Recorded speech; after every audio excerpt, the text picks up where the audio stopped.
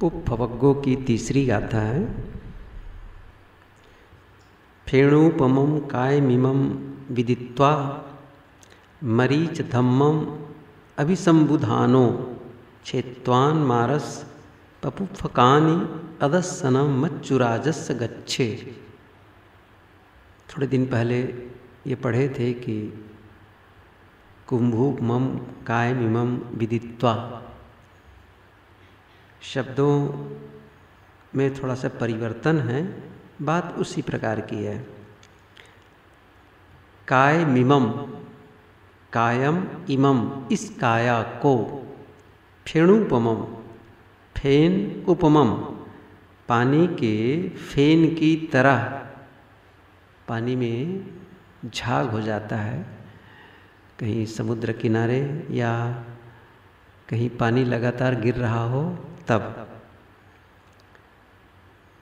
इस काया को पानी के फेन की तरह विदित्वा जानकर मरीच धम्मम, मृग तृष्णा के समान अभिसंबुधानो पूरी तरह समझकर मारस, काम मोह के पफुफकानी, पुष्पित पुष्पा फूल जैसे देखने में शुरू बड़ा सुंदर होता है, आकर्षक होता है। थोड़ी देर के बाद मुरझा जाता है। उसकी सुगंधि भी समाप्त हो जाती है और उसकी सुंदरता भी समाप्त हो जाती है।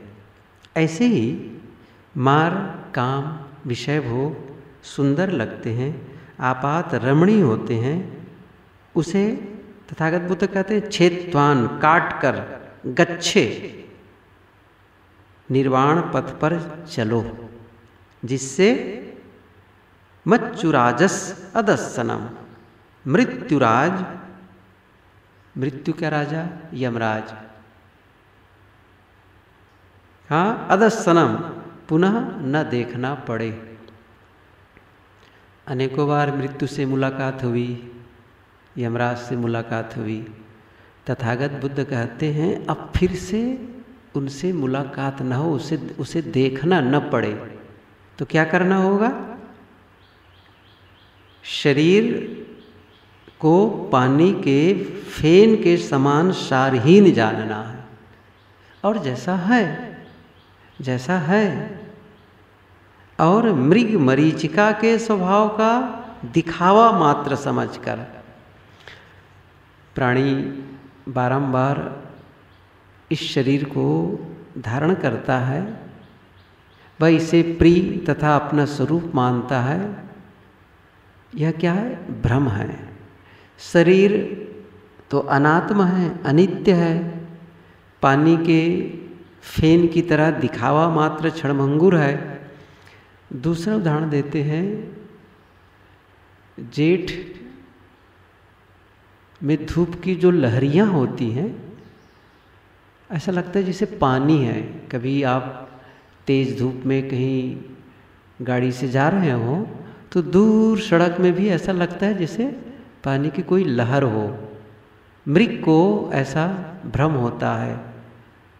और गर्मी के मौसम में स्वाभाविक प्यासा होता है तो समझता है कि वो सामने दिख रहा है, पानी दौड़ता है दौड़ता है।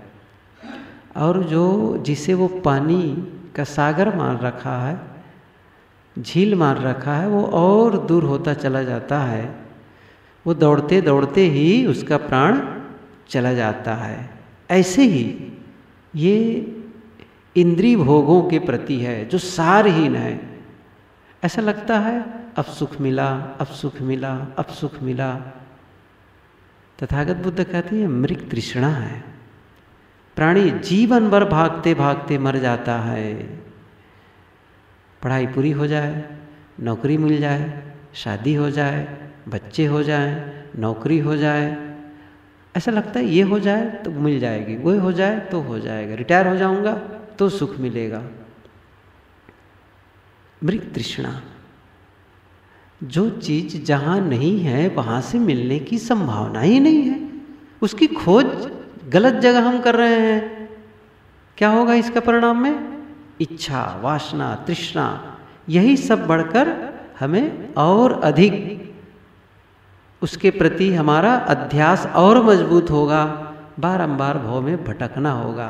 तथागत बुद्ध कहते हैं, देहाभिमान से पैदा हुए काम मोह के पुष्पित जाल को काट दो। छित्वान, मारस पफुफकानी काट दो। किसको? मारस। मार, ये जो मनोविकार हैं, काम मोह हैं, इसको पुष्पित, पफुपकानी, पुष्प के समान समझ करके पुष्प, पुष्पित जाल को काट दो। यह रमणी नहीं है, कंटका किरण है, यह पवित्र नहीं, मलिन है, यह सुखद नहीं है, भयंकर दुखद है। क्या करना है? निर्वाण पथ पर चलना है, अनासक्त होना है। ये सब साधना क्यों करनी है? विषय भोगों को शारीन मानना है, शरीर जैसा है, क्षणभंगुर वैसा, इसको समझना है, भोगों में नहीं उलझना है, निर्वाण पथ पे चलना है, साधना के पथ पे कल्याण पथ पर चलना है। ऐसा करने से अदसनम मच्चुराजस हो जाओ। मृत्युराज के दर्शन न करने वाले हो जाओ। इन विचारों की गहराई में उतरकर कोई भी साधक काम करेगा तो उसे ही मोक्ष का आभास होगा।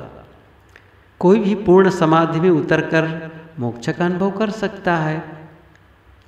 मोक्ष को जो वर्णन सबसे अलग थलग, सबसे असंग इस समाधि में जब कभी वो स्थिति आए तो कोई भी अनुभव कर सकता है, जब किसी से कोई अटैचमेंट नहीं है, किसी से कहीं संबंध नहीं है। जब विचार ही नहीं तो संबंध नहीं, यही तो जोड़ने वाला है। इसीलिए इसको विचार मात्र भी कहते हैं। यादगिरी, संसार क्या है? यादगिरी। याद करते हैं, संसार उपस्थित होता है। याद न करो संसार अपनी जगह, हम अपनी जगह। साधना में वो जितनी यादें हैं, जितने उसके जोड़ने वाले विचार हैं, सबको खत्म कर देना है। जो साधनाभ्यासी हो और पूर्ण अनासक्त हो, उसे गहरी समाधि लगती है, जिसमें संकल्पों का, वृत्तियों का अंत होता है। उस दशा में निर्वाण का, मोक्ष का अनुभव होता है। और ऐसी दशा में फिर से मरने की ज़रूरत नहीं है। चौथी गाथा है पुफानी हेव पचिनंतम व्यासत्त मनसम नरम सुप्तम गामम मोह महोघो इव मच्चु आदाय गच्छति। पुफानी हेव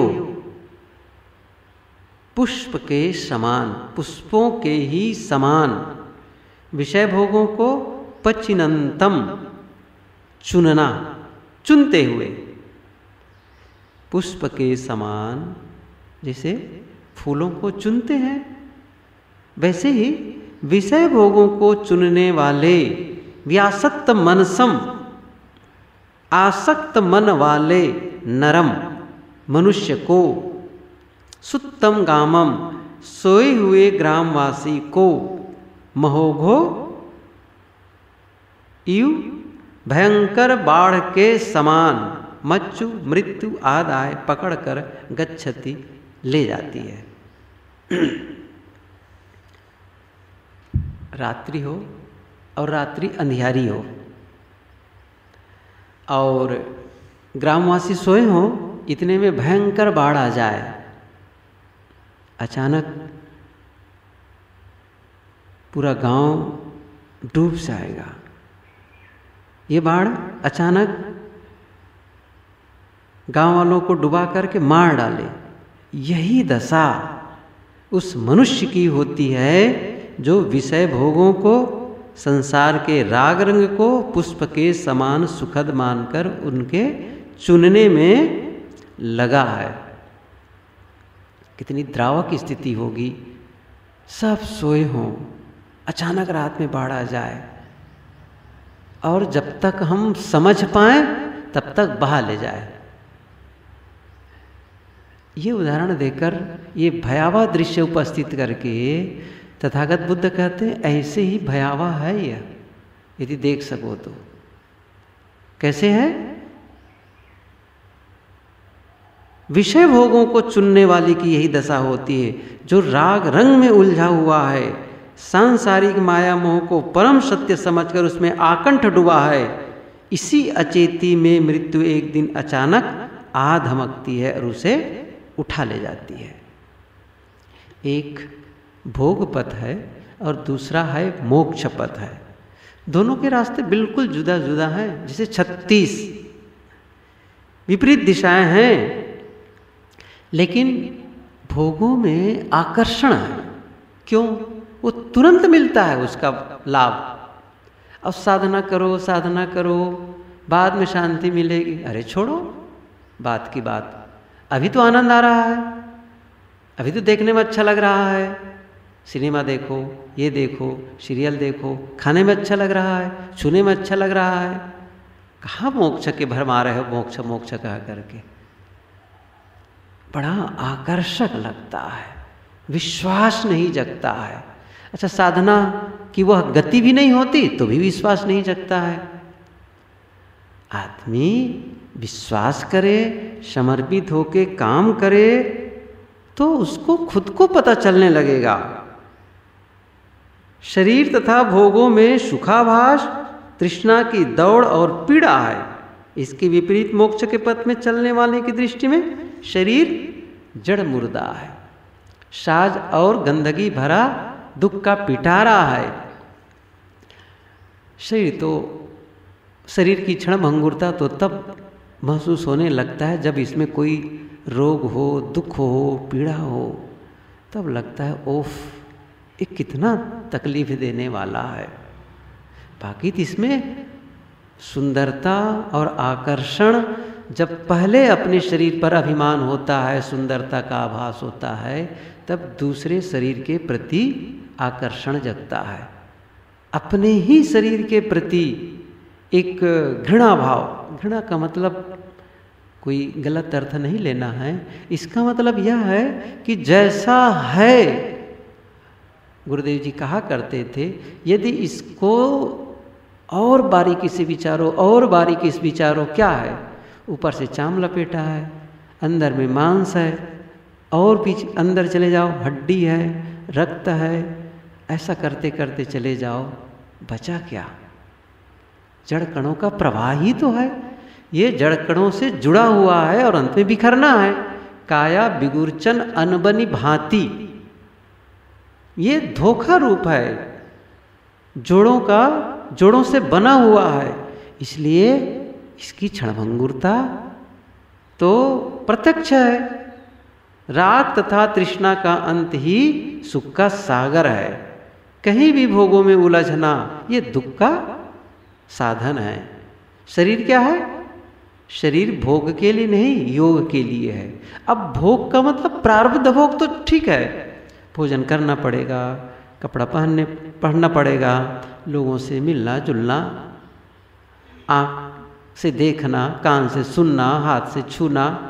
वैसे यदि देखा जाए तो यह भी तो भोग है, लेकिन यह प्रारब्ध भोग है।